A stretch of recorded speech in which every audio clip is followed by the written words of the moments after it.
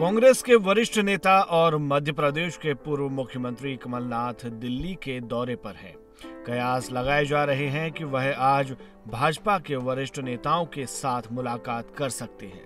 इस बीच कांग्रेस के कई विधायक और मेयर के दिल्ली पहुँचने की संभावना है। बताया जा रहा है कि छिंदवाड़ा, बालाघाट, मुरैना सहित अन्य जिलों के विधायक दिल्ली पहुँच सकते हैं। दरअसल दिल्ली के भारत मंडपम में भाजपा का राष्ट्रीय अधिवेशन चल रहा है। इस अधिवेशन में शामिल होने के लिए एमपी भाजपा के कई नेता भी पहुँचे हैं। कयास लगाए जा रहे हैं कि कमलनाथ आज दिल्ली में भाजपा के नेताओं से मुलाकात कर सकते हैं। साथ ही वह कांग्रेस को बड़ा झटका देकर भाजपा में शामिल हो सकते हैं। उनके साथ दस विधायक भी कांग्रेस छोड़ सकते हैं। इस बीच ये बात भी पता चली है कि कमलनाथ के भाजपा में जाने की अटकलों के चलते छिंदवाड़ा ज़िले के कई विधायकों ने अपना फ़ोन भी बंद कर लिया है।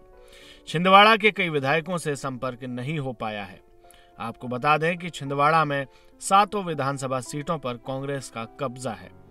कमलनाथ के नजदीकी सूत्रों का कहना है कि उनके ज़्यादातर समर्थक विधायक दिल्ली पहुँच गए हैं, या आज पहुँच सकते हैं। वहीं कमलनाथ को लेकर चल रही अटकलों पर बनारस पहुँचे कांग्रेस के वरिष्ठ नेता जयराम रमेश का कहना है कि काशी विश्वनाथ की मैं बात करता हूँ कमलनाथ की नहीं। सर आखिरी और बड़ा महत्वपूर्ण सवाल है वो है कमलनाथ जी के रिगार्डिंग क्या कमलनाथ जी भारतीय जनता पार्टी से बातचीत नहीं नहीं मैं यहाँ सिर्फ़ मैं सिर्फ़ काशी विश्वनाथ की बात करता हूँ कमलनाथ की नहीं।